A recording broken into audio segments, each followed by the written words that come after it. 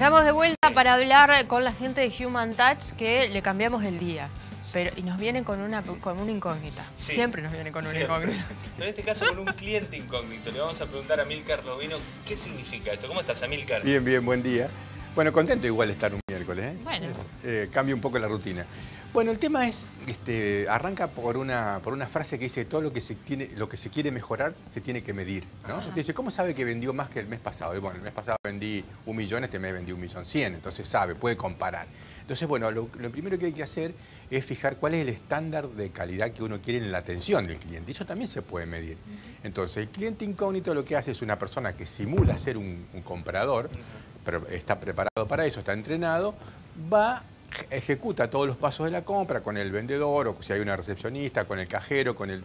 Y eso se puntúa, ¿no? Entonces tiene una puntuación de acuerdo a las cosas que está preparado para decir, porque el, empleado a veces dice, bueno, atendí bien, pero bueno, le faltaron algunos detalles que la, dirección quiere que haga, ¿para qué? Para que se sienta realmente muy bien el cliente. Entonces, una vez que se hace, este, se hace esa tarea, que inclusive compra, paga, retira, o se hace toda una compra...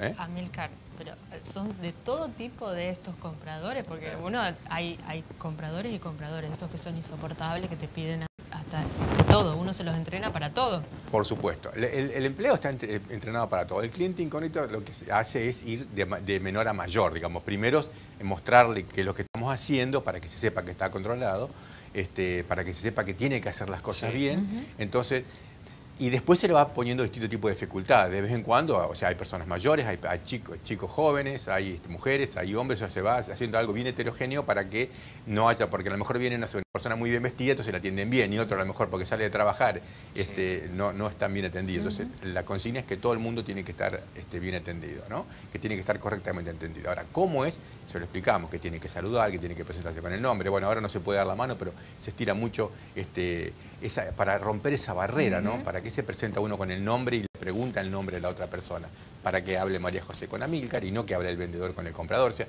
son pequeñas cositas que después hacen una gran diferencia. Porque si el cliente entra en confianza, es mucho más fácil que luego eh, me compre o me crea, sobre todo, porque la venta es una cuestión de confianza. Entonces, es una herramienta muy interesante para poder chequear, porque la gente dice, no, yo atiendo muy bien. Bueno, es como si digo, yo vendo muy bien. ¿Y por qué? Porque entró mucha gente. No, eh, puntúo, no sé, puede ser 10 ítems, 15, hasta 20, nosotros hemos, este, estamos chequeando, eh, pedir información después de cuando el cliente se va, compre o no compre, porque puede pasar que no compre, tomar los datos, este, generar algún incentivo para que la gente dé los datos, todo eso se puntúa y generalmente lo que nosotros sugerimos es que se premie. Si el cliente incógnito le da bien, que se premie con un, económicamente o con una orden de compra, en el caso que que sea algo, por ejemplo, alimentos, o sea, un supermercado, lo que fuere, que sea al, empleado, que se lo premie. ¿Cuál es el castigo? No recibir el premio, o sea, no es que se le está quitando, ¿no? pero se le premia ese esmero. Hay gente que dice, Amílcar, eso es lo que tiene que hacer. Bueno, pero estamos en, este, una situación donde eh, la plata no alcanza y un premio siempre es un mimo para, un empleado. Un incentivo. Un incentivo, que en algunos casos este, tenemos algunos clientes que dan un... es muy interesante. Entonces, eso me asegura de que eh, vendo más, porque si atiendo bien, vendo más. Eso me asegura, me asegura que el cliente va a volver. ¿Por qué? Porque si se siente cómodo, vuelve. Y aparte, puedo tener un estándar que puedo ir viendo cómo estoy, porque a veces las cosas no va bien. o se miden todo en, todas las épocas, en pandemia, este, cuando hay mucha gente, cuando hay poca gente, en época... Entonces uno va, puede trazar una, este, una, una media de cómo está trabajando y en qué mejorar. Si saben que está equivocado, sabe que tiene que corregir y es una herramienta muy, muy interesante para competir en este momento, que siempre repetimos una frase hasta cansancio, no estamos trabajando, estamos compitiendo. Entonces, si somos un poco mejor que el resto, podemos llegar a, bueno, a mejorar nuestras ventas solamente midiendo y mejorando eso y charlando con la gente. Después, bueno, la idea tampoco es castigar, sino que si alguien hace algo mal, verlo porque está mal. También sirve para testear cómo está la persona, porque muchas veces el, entrevistador, o sea, el cliente incógnito dice, no, pero me atendió y estaba como desganado, esa persona a lo mejor tenía un problema familiar, sirve también para entender al empleado qué le pasa, ¿no? qué le pasó, y que él sepa que alguien está viendo que, está haciendo las cosas mal o no tan bien, porque a lo mejor no significa que esté mal, pero nosotros pretendemos estar de la media hacia arriba.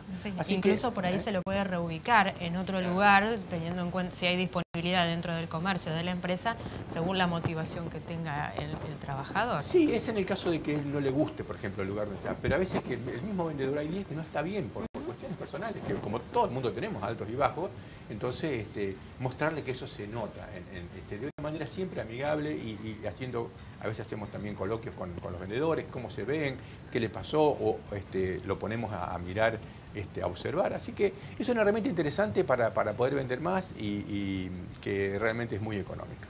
La verdad que es una alternativa. A tenerla en tener cuenta. Gracias, Amilcar. Hasta la semana que que viene.